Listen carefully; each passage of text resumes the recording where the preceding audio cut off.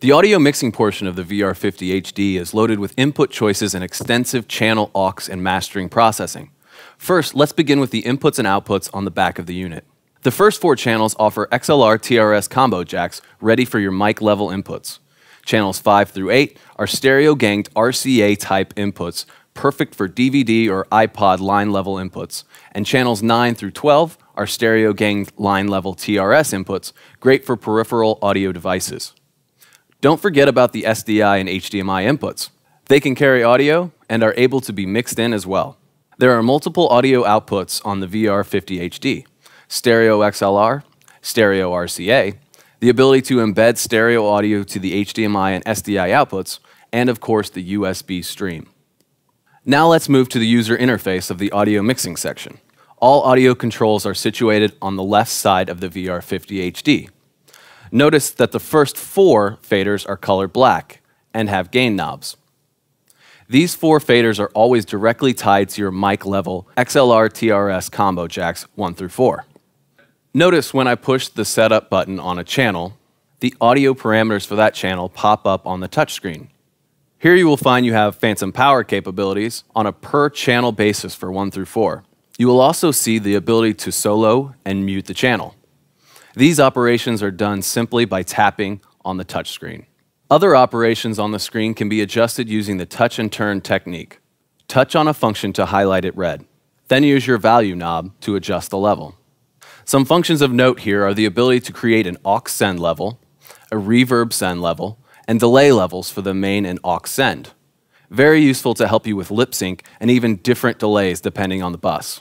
For example, the VR50 HD can be used in a conference panel setup where you are mixing room sound to powered speakers and also mixing to a live stream. Each may require different settings, which can be achieved by using the separate bus. You also have a three band EQ, gate, and compressor associated with each mic level input. Notice that each of these have on-off switches and an edit option that brings up more parameters.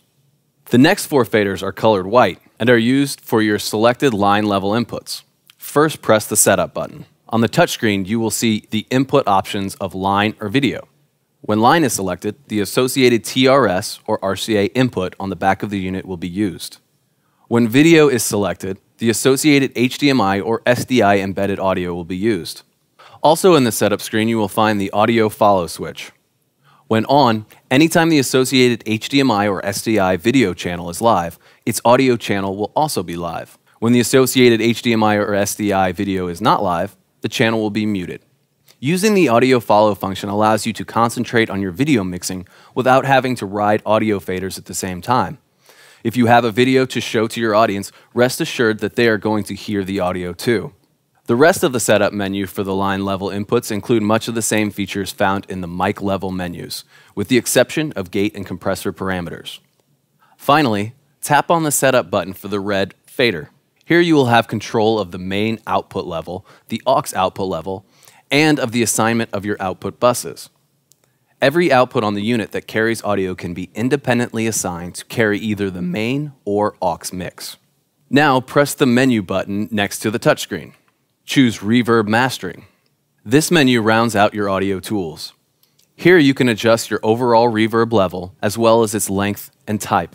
The audio signal flow finishes with an additional three band EQ and a mastering section that allows you to finish off your sound with band specific compression. One more quick note is the three knobs above the faders.